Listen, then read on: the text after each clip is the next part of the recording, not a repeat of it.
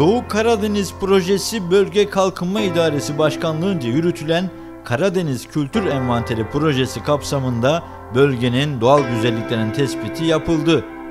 Listede Ordu'dan 5 doğal güzellik tespiti yapılıp kayda alınırken doğal güzellikleriyle öne çıkan Ünye'den kayda girecek doğal güzellik ya bulunamadı ya da kayıtlarda yer alması istenmedi.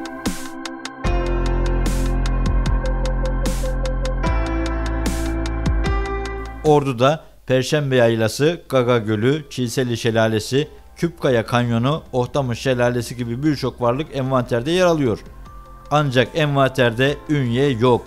Konuyu değerlendiren Ünye Turizm İşletmeciler Derneği Başkanı Adnan Sobi, DOKAP'ın envanterinin eksik olduğunu ve bu envanterde Ünye'nin ve arkada kalan diğer ilçelerin de değerlendirilmesi gerektiğini ifade etti.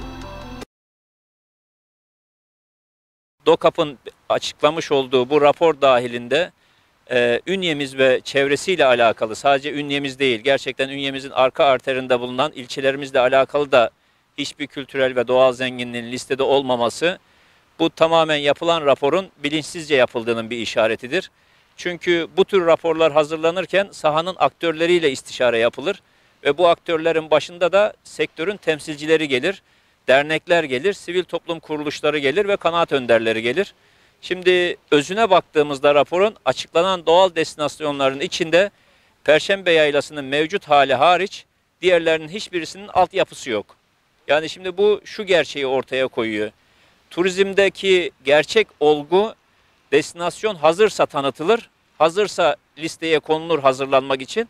Hazır olanlar öne çıkarılır ve aynı zamanda bu raporlar tanıtım raporlarıdır. Yani insanlar bu raporu okuduğunda Aa, ben bir Çiseli Şelalesi'ne gideyim der. Gider ama gittiği yerde Çiseli Şelalesi ile ilgili ulaşımda sorun yaşar çünkü tabelalandırma yoktur. Gaga Gölü'ne gitmek ister listede olan. Gaga Gölü'ne gittiğinde gerçekten hiçbir sahanın hazır olmadığını, gölün kirliliğini görür, sahanın eksik olduğunu görür ve geri döndüğünde de dönüşü maalesef olumsuz olur. Ben buradan bu raporu hazırlayan DOKAP yetkililerine şöyle seslenmek istiyorum. Bu tür raporlarda 2-3 aşamalı listeler yayınlanmaları gerekir. Yani birinci listede destinasyonların hazır olanları, altyapılarının hazır olduğu ve ziyarete açık olduğu bir de yılın hangi dönemlerinde ve hangi aylarda açık olduğunu gösteren tam bir kılavuz tarzında bir rapor olarak birinci madde hazırlanır.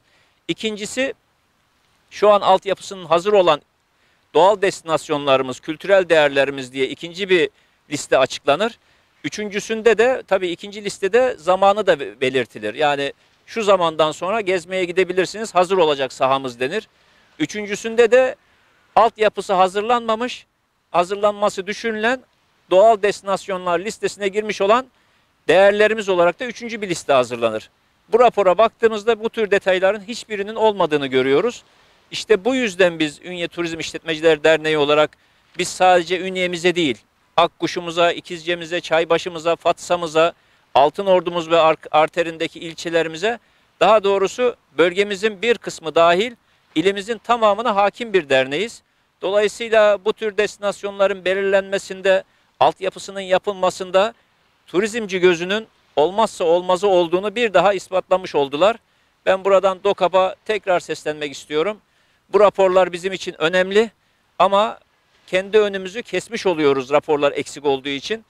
Tam çıkarmak anlamında güzel bir istişare masasıyla, güzel bir ortak akıl toplantısıyla ve güzel bir ordu turizm takımıyla bu raporları daha da e, doğru ve daha bilinçli çıkaracağımızı düşünüyorum.